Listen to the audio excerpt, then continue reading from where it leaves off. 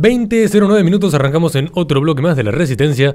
Comentanos, Horacio, con qué continuamos. Bien, hoy tenemos el lujo y el honor de contar con el gran y querido profesor Nicolás Márquez, que estamos llamando telefónica, para conversar y que nos pueda simplemente exponer qué está pasando en Cuba, y que ya muchos, algunos conocerán, pero particularmente cuál es su visión de Cuba, qué es lo que va a pasar de cara al futuro con el régimen cubano, con la eh, revolución y la rebelión que se está dando en dicha tierra. Profesor, toda suya la palabra.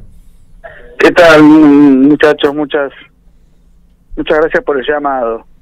Mira, a mí me sorprendió la, la rebelión, pero la realidad es que el cubano ya no tiene más nada que perder. No tiene que comer, no tiene para hablar, no tiene lugar para dormir porque está todo derruido. Eh, y tiene la mitad de sus familiares exiliados, la otra mitad de sus familiares encarcelados. Se generó una situación dentro de la cual dijeron, bueno, salgamos al ruedo. Encima aparece el fenómeno de Internet, aunque limitado en Cuba, pero eso, como que es de público conocimiento, sirve para hacer convocatorias. Entonces eso le jugó una mala pasada al régimen y salieron muchos y sirvió para visibilizar una vez más el totalitarismo que se vive, que se vive en, la, en, la isla eh, y para reforzar el concepto de que es una dictadura, porque acá de Cuba se le ignora y solamente se cuestiona eh, el gobierno de Venezuela, pero de Cuba no se dice nada, está como, como eh, hay una gran indulgencia respecto de Cuba. Bueno, ahora sirvió políticamente por lo menos como para reforzar el concepto de que lo que allí se vive es una tiranía. Eh, ahora, ¿esto puede hacer tambalear el régimen? No, de ninguna manera. Son un grupo masivo, pero de personas famélicas, desarmadas, desdentadas, sin liderazgo, porque los líderes están todos presos, inorgánica, sin internet, sin conexión con, con, el, con el afuera, porque esto no, no, cuenta con ningún tipo de apoyo externo. Entonces, esto sirve para desacreditar aún más al régimen, pero no sirve para liquidarlo. Al contrario, el régimen va a reforzar mucho más la represión y la vigilancia ahora. Entonces, Mientras no haya una reacción militarizada, todo lo demás sirve para el análisis político, pero no va a cambiar paradigmas de cuajo.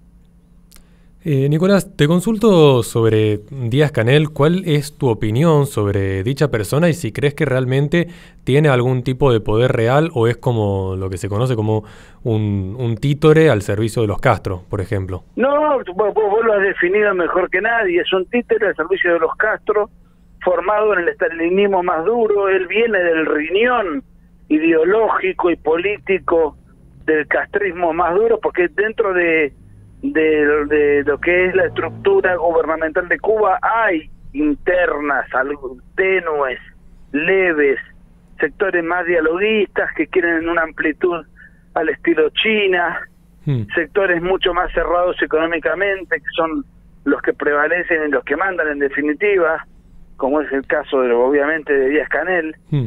Eh, no, Díaz Canel es sencillamente una cara joven, porque Raúl Castro ya, tiene como 90 años, con una energía distinta, este, y encima eh, elegido en una pantomima dentro de lo que es la, la el Parlamento Nacional, que no me acuerdo el nombre, la Asamblea Nacional. Hmm. Dentro de lo que es la Asamblea Nacional lo eligieron por voto unánime. Así se eligen todos los todo, todas las supuestas leyes que, se, que supuestamente se discuten en Cuba.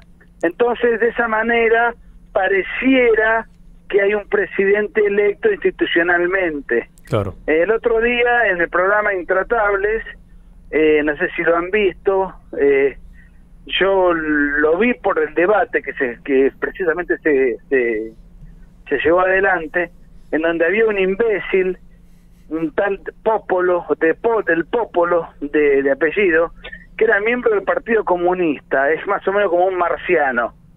Un pibe joven que mm, decía que en Cuba no había una dictadura porque Díaz Canel tenía legitimidad de origen.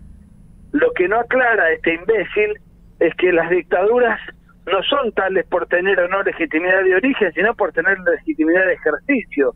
Eso es lo realmente importante en un gobierno porque yo puedo llegar por los votos como llegó Hitler, como llegó eh, Mussolini, como llegó Perón, como llegó Chávez, pero eso no me esculpa ni me quita eh, la condición de tirano en realidad, porque lo que hay en Cuba no es una dictadura, es una tiranía. Hmm.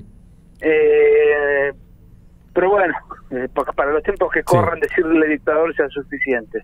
Y es una tiranía totalitaria, no es una tiranía autoritaria, porque hay una diferencia entre el totalitarismo y el autoritarismo. En el autoritarismo, el gobernante lo que quiere del pueblo es la obediencia, pero en el totalitarismo, el gobernante además de la obediencia quiere la adhesión del pueblo. Entonces, para lograr la adhesión del pueblo se genera un sistema invasivo, con idolátrico, culto a la personalidad, adoctrinamiento desde la más tierna infancia. Bueno, todo eso es lo que se vive en Cuba, ¿no? Hmm. Ahora, sabiendo esto sobre Díaz Canel, ¿vos ves viable que para eh, un lavado de cara y para tener una mejor imagen internacional pueda llegar a ser reemplazado por una nueva figura eh, como para intentar calmar las aguas y disimular un poquito la, situación? No, no creo, porque sería mostrar una, un gesto de debilidad ante tanto interno como, como externo y los Castro, si por algo se caracterizan, es por redoblar la apuesta. Hmm. Nicolás, para no extendernos tanto y sabiendo, sabiendo, cómo son tus tiempos, en primer lugar avisarle a toda la gente que va a estar viendo este video luego en YouTube, recuerden comprar el libro de Nicolás Márquez, La máquina de matar, una de las mejores obras que he leído en mi vida y que he tenido el honor que, que él me firme dicho libro. Quería consultarte, Nicolás, ya como última pregunta, un tema que creo que es muy, muy recurrente, al menos acá en, en Argentina, ¿no? Que es la siguiente.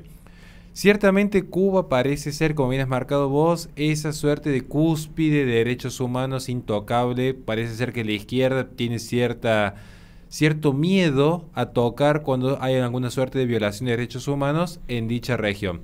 ¿Qué crees que va a pasar con los organismos de derechos humanos de cara al futuro? ¿Van a hacer un mea culpa, una crítica, una suerte de decir, mira, eh, somos leninistas, no somos stalinistas, eh, somos pro comunismo, pero en realidad no fue el verdadero comunismo lo que pasó en Cuba, como suelen decir en Venezuela. ¿Cuál crees que va a ser el discurso de los organismos de derechos humanos luego de lo que ha acontecido y que ha cobrado relevancia en Cuba? No, no creo que pase mucho, eh, Horacio, porque eh, ya en otras circunstancias, por ejemplo, cuando estaban de moda las FARC, en las noticias se hacían los idiotas y miraban para otro lado, con Chávez se han hecho, los idiotas y han mirado para otro lado. con las violaciones a los derechos humanos en China se hacen los idiotas y, miran para otro lado.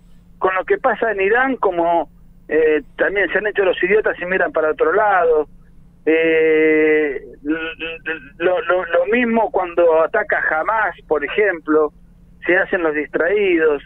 Eh, ahora eh, hacen lo mismo ellos solamente saltan a la palestra si hay algún tema que pueda perjudicar a algún gobierno de derecha actual o, o, ya o ya pasado. Eh, ellos ellos siempre reaccionan de manera selectiva, les va bien, tienen buena financiación, tienen buena prensa, hablan cuando tienen que hablar y se callan cuando la política, la coyuntura no les es afín son unos cínicos, unos mercaderes, este, unos sinvergüenzas, pero exitosos. Hmm. Bien, Nicolás, no que te queremos robar más tiempo, te agradecemos muchísimo tu participación acá en el programa y, y bueno, esperamos tenerte próximamente en próximas intervenciones. Gracias por llamar, saludos para todos. Bueno, Gracias. esto fue La Resistencia. Le recordamos a la gente que este programa se transmite todos los lunes de 18 a 21 por Play FM en Córdoba, Carlos Paz, Tucumán y San Fernando del Valle de Catamarca. Posteriormente se sube al canal de YouTube de La Resistencia, donde en la descripción tienen nuestras redes sociales para que se comuniquen con nosotros en caso de que quieran colaborar con este espacio. Vamos a un corte y enseguida volvemos con más Resistencia.